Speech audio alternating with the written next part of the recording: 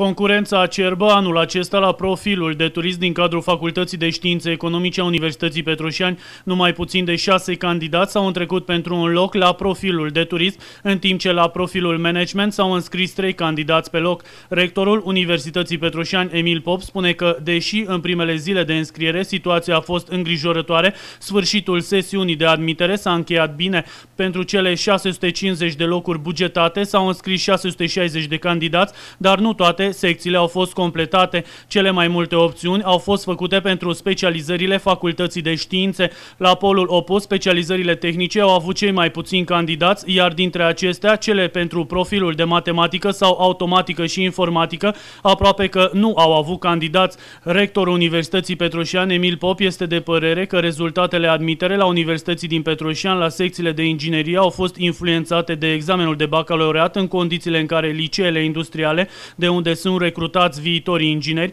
au avut un șoc, dat fiind faptul că foarte puțini au trecut examenul.